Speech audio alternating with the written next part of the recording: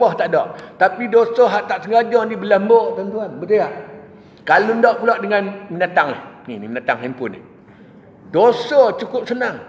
Kan? Dia dah janji dah dengan bini dia. Eh, dengan anak dia petang ni nak keluar pukul 3. Nak pergi makan laksa. Dekat mana ke contoh lah kan. Dan janji dah janji lah. Lepas tu pun bini pun telefon. Abang ni mana ni bang? Lambat sangat ni. Kan janji dah apa ni. Ah, kejap-kejap ni. On the way. On the way. On the way tunggu. Apa dia duduk kat ofis dengan tu? Faham tak? Tu apa hukum tu? Halo? Mohong, ha mohong. Mohong ni salah satu sifat munafik, betul tak?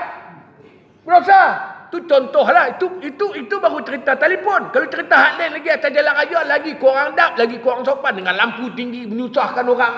Betul tak? Masuk kiri tak bagi signal, masuk keluar tak bagi signal. Semua menyusahkan orang menjadi kita hati tak tenteram, kacau bilau kerana dia hampa dapat dosa kering. Hadirin yang dari kelas sekalian. So, bila mana kita banyak dosa, tuan-tuan, maka kita hendaklah selalu bersedia untuk menghadapi kematian. Tuan-tuan, kalau cerita mati ni, takut tak dengan mati ni? Halo? Takut tak dengan nak mati ni? Takut. Tu kalau tuan-tuan takut, tuan-tuan nak buat apa? Tuan-tuan, malam ni saya nak ingatkan kalau cerita dengan mati ni tuan-tuan, kita tak perlu takut dan jangan takut. Tu dengan mati. Mati ni sebenarnya kita yang terbaik adalah bersedia untuk mati. Itu sebenarnya. Bukan takut untuk mati, tapi kena bersedia untuk mati. So, apa tanda untuk kita bersedia kepada mati? Dua tanda. Dua. Pertama, buat dosa, buat silap, cepat-cepat minta ampun, cepat-cepat bertaubat. Itu tanda kita bersedia untuk mati. Jangan kita buat salah, kita buat dosa, ah, tak apalah. Ah, ah, nantilah bulan depan. Ah, tak apalah, nantilah aku bertaubat. Akhirnya dia pun menyanyi. Ah, nanti dulu, ah, tunggu dulu, aku belum bersedia. Ah, dia sedap buat menyanyi lagu macam tu. No? Ha, bersedia malaikat mu kata hang tunggu Zat, hang tunggu. Ha. So maksudnya bila kata kita nak bersedia untuk mati, dua. Yang pertama, buat salah, buat silap, cepat-cepat bertobat, cepat-cepat minta ampun. Itu yang pertama. Yang kedua, sebarang kebaikan jangan tangguh. Kita tahu dah benda baik. Contoh. Contoh. Puasa sunat Isnin Khamis. Bagus tak? Bagus tak? Kemarin puasa tak? Ha? ha tak apalah, tuan-tuan puasa-puasa. Tak puasa pun tak apa, bukan berdosa pun. Tak berdosa, jangan bimbang tuan-tuan. Itu hak tuan-tuan kan. Tapi nak bagi tahu, itu di antara bersedia untuk mati. Tahu benda tu baik, jangan bertangguh. So, malam ni, akhir daripada saya, saya nak tanya tuan-tuan. Tuan-tuan tolong jawab dengan jujur. Malam ni saya nak buat saya nak buat postmortem. Jangan lari, tutup pintu. Siapa boleh jawab, kita balik awal. Saja, saya suka macam tu. Dah beberapa masjid. Saya nak tanya tuan-tuan. Dah, tuan-tuan dan sekalian. Saya nak tanya ni tuan-tuan jangan bimbang. Tuan-tuan tahu jawab, tak tahu tak apa. Ha? Jangan malu, jangan segan. Sebab apa yang saya nak tanya ni perkara sunnah. Tuan-tuan dan sekalian. Besok di akhirat tuan-tuan. Kita ni dah dosa banyak, salah banyak. Tuan-tuan besok di akhirat. Kalau kita dosa banyak, ada beberapa kelompok yang boleh bagi syafaat pada kita. Tahu tak? Tahu. Apa dia antaranya? Syafaat ni tahu tak apa maksud syafaat? Apa dia? Pertolongan. Senang nak sebut pertolongan. Besok di akhirat ni kita ada teruk. Yang boleh bagi pertolongan kepada kita ada beberapa kelompok. Antaranya apa yang tuan-tuan tahu? Tolong. Ha? Terima kasih. Para ulama. Lagi? Quran. Quran tu ada syarat tu.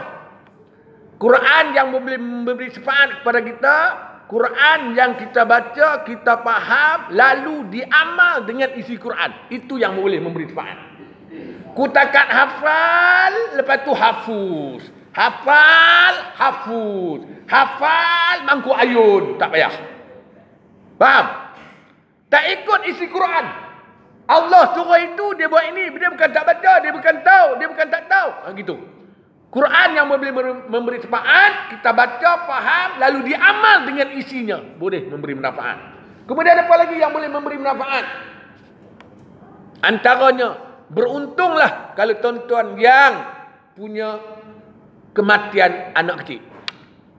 Ha, sebab tu kalau orang yang mati anak kecil ni tuan-tuan janganlah sedih sangat. Cuma pi ucap tahniah dalam hati. Ha, ucap tahniah dalam hati ya. Ha, sabarlah tapi dalam hati dalam hati tahniah tahniah tahniah. Jangan jangan keluar. Sebab ahli surga tu, betul tak?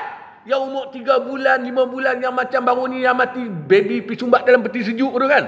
Allah. Ya memanglah sedih memanglah tapi kok mana tapi saya saya pun sedih lah tapi kok mana pun saya kata Ya Allah, seronoknya dia kan. Ha, saya pun ada lah. Saya pun ada. Saya pun ada yang mati kecil. Saya. Alhamdulillah lah. Ada. Jadi maksudnya, yang boleh memberi semangat. Ha? Kalau kita yang ada anak yang mati kecil. Kemudian yang boleh memberi semangat apa dia? Nabi SAW. So tuan-tuan, untuk nak dapat syafaat Nabi, bukan semua orang boleh dapat. Antara poin untuk kita mendapat syafaat Nabi, kita tidak ada pilihan melainkan dengan memperbanyak, menghidup dan beramal akan sunnah. Inilah antara yang akan dapat syafaat Nabi. So, malam ni kita nak tengok sunnah Nabi. Yang tonton tahu, yang tonton amal. Saya nak tanya seorang-seorang. Yang pertama, sunnah Nabi yang saudara tahu apa dia? Jubah.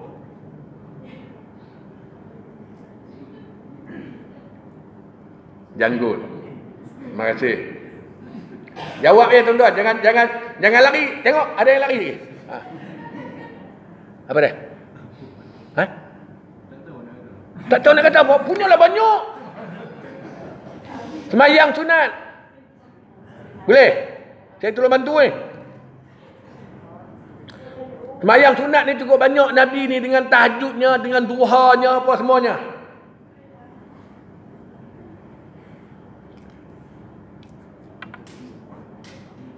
Tak dengar.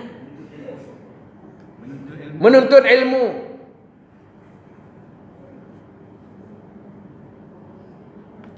Ah, baju putih ah. Makan. Ha? Makan. Ha ha. Makan? Makan. Lepas makan jilat jari. Ha. Okey.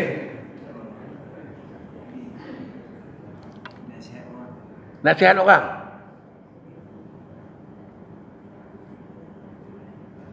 Tu Imam.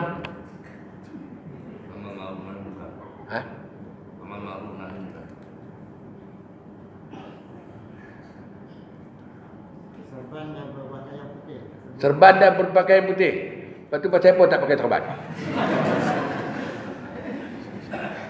Jangan marah ha? Dan semalam sama juga dia kata, yang jawab suruh pakai serban, dia tak pakai serban. Dia fikir memang kena kat dia. Okey. Okey. Serban dan pakaian putih. Dia ada beberapa warna lah yang Nabi suka antaranya hitam, putih, hijau. Okey. Abang. Isteri? Isteri dua tiga. Baik bang, baik, baik. Tu abang isteri berapa? Isteri abang berapa? Ha? Dua. Alhamdulillah. Okeylah tu. Okeylah. Lebih daripada satu. Jadi tuan-tuan ni tuan-tuan dah lebih daripada satu ke belum? Tu bila nak tambah? Ha? Siapa yang masih beristeri satu? Angkat tangan. Okey, terima kasih. Berhajat tak nak tambah? Tak marah? Siapa yang berhajat angkat tangan? Astagfirullah tak berani tu oi. Bini ada apa dalam ni? ha? Siapa berhajat? Tak kalau berhajat saya nak bagi tip ni. Tak sungguh tuan-tuan bukan melawak ni. Eh, oh, tu bujang. Okey, ya, ni bujang tak apa ni saya nak tanya ni yang yang dah ada berhajat nak tambah. Ada tak? Tak ada. PM tepi tak layan. Eh, siapa siapa nak angkat tangan. Saya nak bagi tip lah ni. Tak sungguh ni, serius. Sungguh tu. Tak ada. Oh, tak ada ke tak berani? Astagfirullahaladzim. Okey, okey. Serban nikah, ha? nikah, nikah, nikah, nikah. Kemudian bersugi. Wangi. Bagus. Ha?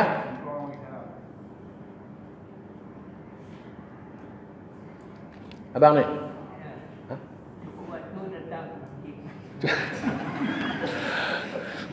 Cukup waktu datang masjid lebih tepat semai berjemaah lah senang. Solat berjemaah. Sebab Nabi tuan-tuan dalam hidup tak pernah semayang seorang-seorang melainkan berjemaah. Ya. Ha? Bahasa lemah lembut. Ha, Okey, uh, bahasa lemah lembut. Lagi-lagi? Utamakan yang sebelah kanan. Utamakan yang sebelah kanan. Okey, kalau yang sebelah kanan ni tuan-tuan daripada atas sampai ke bawah. Ha, macam nak masuk masjid, nak pakai kasut, nak pakai baju mulakan yang kanan, nak tanggal mulakan yang ki kiri. Kalau pakaian ni tuan-tuan, kalau seluar ni kita Nabi ajak, Nabi punya sayang kat kita tuan-tuan bila kata nak pakai seluar ni suruh duduk. Bila nak buka seluar pun suruh duduk. Nabi punya sayang takut kita tersungkup. Tuan-tuan pernah tak pakai seluar berdiri ke? Buka seluar berdiri ke? Tersangkut kaki rasa nak tertumah. Ya tak? Ha, tu yang gelak deras tu ada pengalaman lah tu. Tapi Nabi habak dah tuan-tuan takkan di rumah tuan-tuan tak ada katil duduk lah kat bucu katil. Kau tak ada suruh berdiri macam bini macam kau pergi duduk atas kepala dia tu. Duduk dia nak nak habak main macam tu tuan-tuan kena duduk. Tapi saya duk tunggu hal lain-lain tak apa nak ada. Antara sunnah Nabi tuan-tuan yang kita terlepas pandang ni.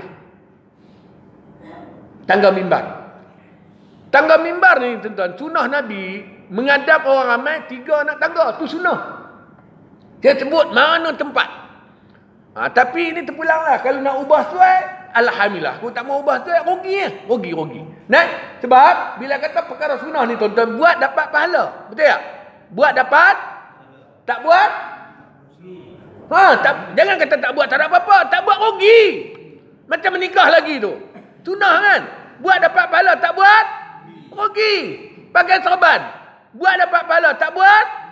Jadi tuan-tuan nak untung kan nak rugi? so kalau nak untung buatnya. Tu tuan-tuan, sebab tu saya di utara saya seliut lah, saya seliut. Banyak masjid walaupun diubah tuai, masjid itu tapi mereka masih mengekalkan konsisten dengan tangga mimbar tiga anak tangga menghadap orang ramai ada juga masjid yang tangga anak anak tangga menghadap orang ramai tapi dia punya tinggi dia macam kecileng oh. Siapa pernah pergi semayang masjid negeri Shah Alam tak pernah pergi astagfirullahaladzim tonton tengok studio tu itu kalau hati ada gaut tak apa nak sampai oh. tak sampai tuan-tuan tidak pun naik-naik atas tu terpeleot, tergelincir, jatuh, bergolek bawah. Insya-Allah syahid tuan-tuan. Tu nak habaq mai. Ada satu lagi masjid yang saya jumpa di sebelah bagan serai. Eh, tangga mimbar dia tu macam belakang rumah kedai. Tangga pusin. Tu dia. Itu yang hati naik-naik kadang baca atau apa ada baca. Pening tak habis lagi. Punyalah mangkak. Allah Akbar. Tuan-tuan, saya nak tunggu lagi antara Tunah Nabi ni banyak tuan-tuan kena sebut eh, dengan madunya, susu kambingnya, bersukannya, puasa sunatnya, istighfarnya, jamuh garamnya, sadakahnya. Banyak tuan-tuan. So, semua dah dengar tadi kan? Sunah-sunah yang yang saya sebut secara umum kan? Siapa buat ke semua yang disebut tadi ni? Semua dia buat. Tak dia. Memang tak ada. Jadi tuan-tuan ni memang adik-beradik lebih malang lah tuan-tuan. So, saya menyeru dan merayu kepada hadirin sekalian. Mulai saat ini sempena 1440 Hijriah. Mari kita buat perubahan. Boleh tak? Boleh. Boleh tak? Okey. Saya nak bagi beberapa tip. Antaranya tuan-tuan sunah Nabi tuan-tuan yang mudah kita buat. Yang mudah kita buat. Pertama janggut. Ni yang tak ada janggut ni pasal apa tak simpan janggut? Tolong bagi tahu kat saya. Tuan-tuan, minta maaf tuan-tuan, walaupun benda sunat daripada mazhab Imam Syafi'i, lelaki yang menyukur janggut hukum dia makruh. Satu. Yang kedua daripada hadis Nabi, Nabi kata apa? Muka yang tidak ada janggut seperti muka yang cacat. Tak ada janggut cacat. Nabi kata, So hari ni tahu kenapa tuan-tuan tak nak simpan jenggot? Tuan-tuan kena jawab. Tak nak jawab saya jumpa saya kat luar. Kecuali ha, kecuali ada orang yang saya tanya, dia kata ustaz bukan boleh bila dia simpan dia jadi gatal merenyam dia jadi allergy. Ada orang kena macam tu. Itu itu cerita kes lain. Tapi kalau saja simpanlah, bukannya susah pun. Bukan payah pakai baju apa pun. Tuna. Saya minta maaf saya nak sebut tuan-tuan. Saya minta maaf saya terpaksa sebut benda ni. Walaupun benda ni kecil. Jangan dia kata, lah, relax lah Ustaz, benda sunatnya. Tuan-tuan, benda wajib itu dah pasti. Faham tak?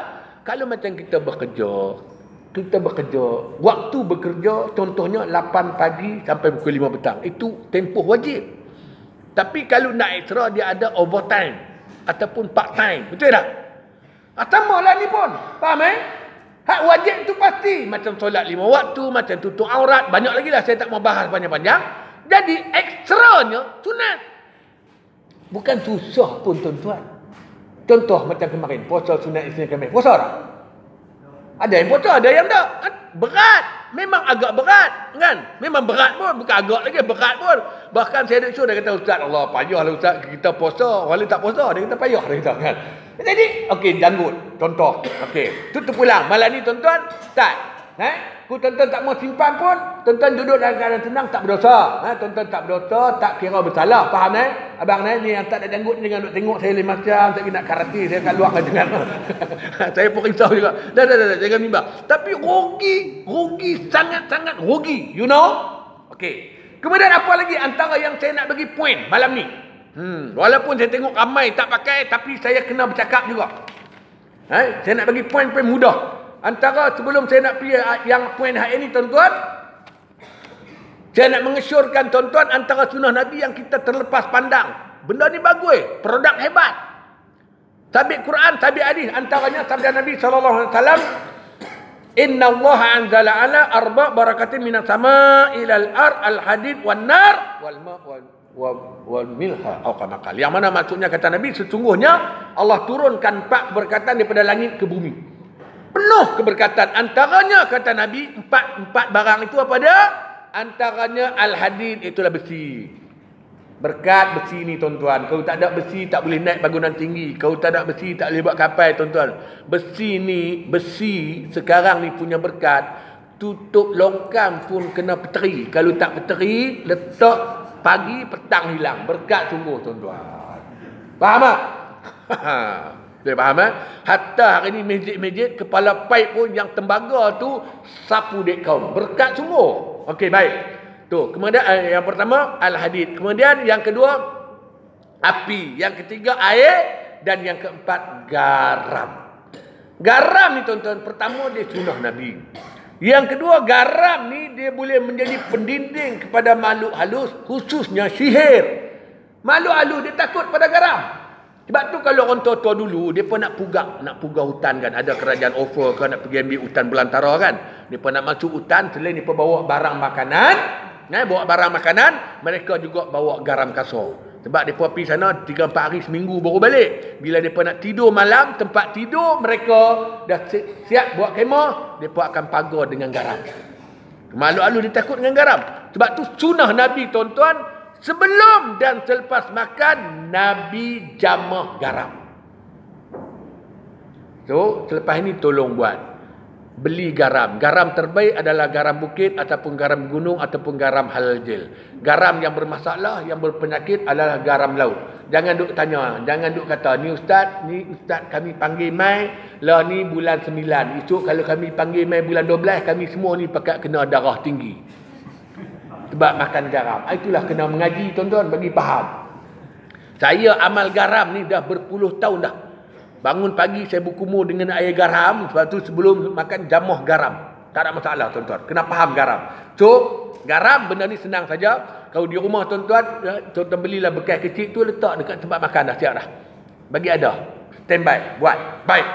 Kemudian apa lagi yang saya nak sebut antaranya sunnah Nabi. Nah, sebelum saya nak akhir tuan-tuan ada dua lagi saya nak, yang saya rasa terpanggil sangat. Antaranya sabda Nabi sallallahu alaihi wasallam al-amaimu tijanul Arab. Yang mana maksudnya kata Nabi sesungguhnya serban itu mahkota orang Arab. Serban. Ni saya tengok ramai tak berserban. Rugi berbenar. Rugi berbenur. Tuan-tuan, tuan-tuan tahu tak? Pertamanya tuan-tuan tadi ada tadi ada jawab serban kan? Ha ada. Tuan-tuan tahu tak? Saya nak tanya tuan-tuan lah secara peribadi. Tuan-tuan tahu tak serban ni sunnah Nabi? Tuan-tuan tahu tak? Tahu. Terima kasih. Serban ni bukan takat sunnah Nabi. Bahkan kata Nabi, serban ini merupakan pakaian para malaikat. Syaitan tidak berserban. Siapa tak rasa tak puas hati, saya lagi nak ambil isi kitab ni, ambil gambar gambar kitab ni ke, nak ambil isi kitab ni ke, mai sini. Ambil gambar. Saya, saya nak bagi, nak bagi izin, tuan-tuan. Tu para malaikat berserban, syaitan tak berserban. Kemudian dalam satu hadis Nabi SAW bersabda yang mana maksudnya kata Nabi sembahyang dua rakaat dengan memakai serban terlebih baik daripada 70 rakaat tanpa serban. Ya Allah tuan-tuan. Bayang tak tuan-tuan? Ha? Jawab. Ah, okey okey okey. Yang tu yang saya nak jawapan tu tak apa. Tunggu Ustaz, tunggu Ustaz, tunggu Ustaz. Tunggu Ustaz, tunggu Ustaz. Tak apa tak apa abang. Tak apa tak apa. Tuan-tuan dan sekalian, saya terima kasih. Saya masalah keluhan macam abang ni bukan kata di sini abang, di mana-mana saya ceramah gitu. Tuan-tuan yang pertama malam ni saya nak ingatkan tuan-tuan, saya nak ingatkan. Saya nak saya terpaksa bercakap walaupun benda benda nampak macam kecil tuan-tuan. Tapi fadilatnya besar. Habuannya untuk kita. Jadi kami pula, saya kalau tak beritahu esok, dia akhirat kena juga. Bukan nak cerita yang suruh yang haram, yang halal, betul tak? Benda-benda macam ni sebab fadilatnya terlalu besar. Tuan-tuan bayang tak? Nabi kata, semayang sunat dua rakaat, lebih baik daripada tujuh puluh rakaat tanpa serban.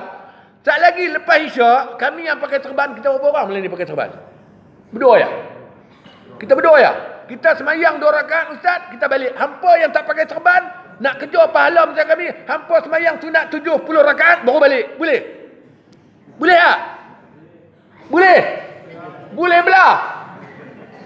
Confirm tak buat? Betul tak? Tak nak bayang tak ganjaran itu? Saya nak tanya tuan-tuan, saya nak tanya tuan-tuan. Masjid ni semayang tarawih berapa rakaat? 20. Saya nak tanya, 20 konsisten daripada mula sampai habis ke takat 8 terah? Ha? InsyaAllah kita serupa di mana-mana pun sama. Tak? Semayang tarawih tu baru 20. 8 cerah. Ni tuan-tuan 70 rakaat. Ya Allah ya Tuhanku. Punyalah banyak nak mampu. Tuan-tuan. Saya minta maaf tuan-tuan. Saya nak bakar semangat tuan-tuan. Tuan-tuan kena ingat tuan-tuan. Pertama kita ni hidup tak lama. Hidup kita tak lama. Berapa tahun saja kita nak hidup ni betul tak? Lepas tu pula tuan-tuan, amalan kita tak banyak terang mana.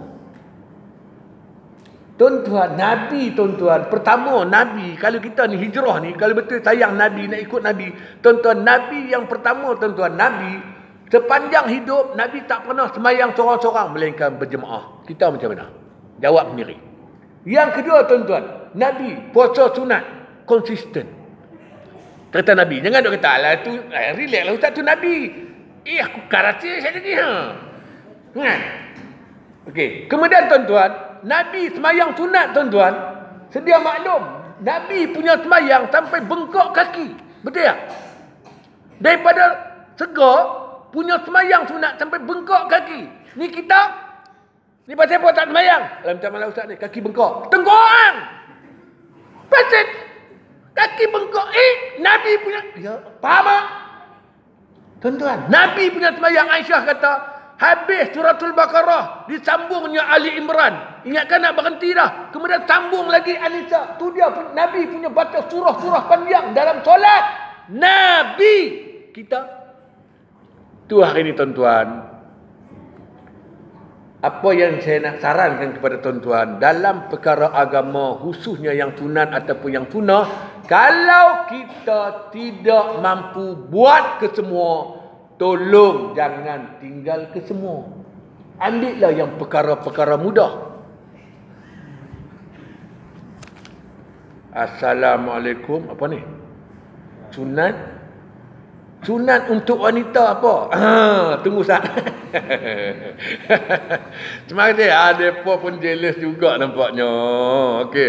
Sunat untuk wanita ni apa? Tak lagi dah. Kalau saya lupa, saya lagi tanya balik. Okey. Tumpang saya, tak mana tadi? Terban. Saya nak pergi tentang terban ni tuan-tuan. Terban pertamanya 70 rakaat tuan-tuan. Baik. Kemudian, pertama kita hidup tak tak lama betul tak? Amalan kita pun kurang. Jadi cuba kita kejar ganjaran-ganjaran yang besar yang ditawarkan oleh Allah dan Rasul kepada kita. Kemudian tuan-tuan dan sekalian, hadis ni saya terpaksa baca. Ku tidak saya nak ambil maksudnya. Nak jimat masa tuan-tuan tapi yang ni saya terpaksa baca. Dalam satu hadis sabda Nabi sallallahu alaihi wasallam Inna Allah wa malaikatahu yusalluna ala ashabil ammaimi yaumal jum'ah. Masya Allah tuan-tuan. Saya kalau baca hadis ni setiap kali saya baca tuan-tuan berdiri bulu rumah saya. Yang mana maksudnya kata Nabi sesungguhnya bahwasanya Allah Taala dan para malaikat menselawat yakni memulia dan meminta ampun ke atas mereka yang memakai serban pada hari Jumaat. Ya Allah tuan-tuan. Kita atas mimbar tadi ada tak uh, uh, uh, uh, uh, hatib sebut surah Al-Ahzab ayat 56. Inna Allah wa malaikatahu yusalluna 'alan nabi hingga akhirnya ada tak? Allah dan para malaikat mengucap salawat ke atas nabi. Allah dan para malaikat mengucap salawat ke atas nabi. Kita pun ada peluang macam itu. Apa dia dalam hadis ini Nabi kata sesungguhnya Allah dan para malaikat mengucap selawat yang memulia dan meminta ampun kepada mereka yang memakai serban pada hari Jumaat. Woi, ni apa mai ambil gambar ni sekali nak bagi. Aku nak bagi dengar hadis ni apa mai ambil gambar kau apa tak puas hati. Tonton bayang Ustaz. Jadi saya menyeru dan merayu kepada penduduk-penduduk Taulang Tiga. Ayuh lepas ni buat perubahan. Kalau tuan-tuan tak nak berterban sebilang masa, tolong pada hari Jumaat. Kalau dah boleh konsisten pada hari Jumaat, istiqamahlah pada lima waktu. Sebab yang dikatakan 70 rakaat itu, dia kata apa? Semayang sunat dua rakaat, menyamai 70 rakaat tanpa serban. Betul tak? So hari ni, kelebihan serban ni pada semayang. Saya tengok tuan-tuan kaki masjid, orang semayang. Kenapa tuan-tuan merugikan diri tuan-tuan? Lainlah pakai serban ketika memancing. Contoh. Pasal wahid kaki mancing. Saya nak Okey, contoh kan. Pakailah serban ketika berjuging. Sungguhnya fadilat. Betul tak? Oh, kata ikutlah rasa tak cerita. Betul tak? Sebab serban ni dia kira pelengkap kepada pakaian. Faham? So, selepas ini, tolong saya menyeru, menyeru dan merayu kepada tuan-tuan tolong tuan-tuan. Abang orang nak kata apa biar pergi kat depa. Saya duk pergi ceramah mana pun dia kata lah ustaz bukan tak nak pakai serban nanti orang tolak pergi ke depan. Apa masalah tolak ke depan? Fatihah sama ya Fatihah. Fatihah imam dengan makmum sama ke beza? Ha? Fatihah lepas tu surah kalau nak baca qulhu tu imam dengan makmum beza ke? Atau apa masalahnya? Kalau tak boleh, bagi tahu tak boleh. Jangan bimbang. Aku pakai serban ni nak ambil sunnah. Contoh. Baik, kita bagi tahu. Kemudian ada orang kata, nanti orang kata ilmu tinggi. Ada pula yang jawabnya apa namanya, uh, saya ni tak piaji lagi. Tuan-tuan, malam ni saya nak declare dekat tuan-tuan. Serban bukan pakaian orang haji. Serban ni sunnah Nabi istimewanya. Pakaian eh, serban ni maka orang Arab istimewanya sunnah aku kata Nabi.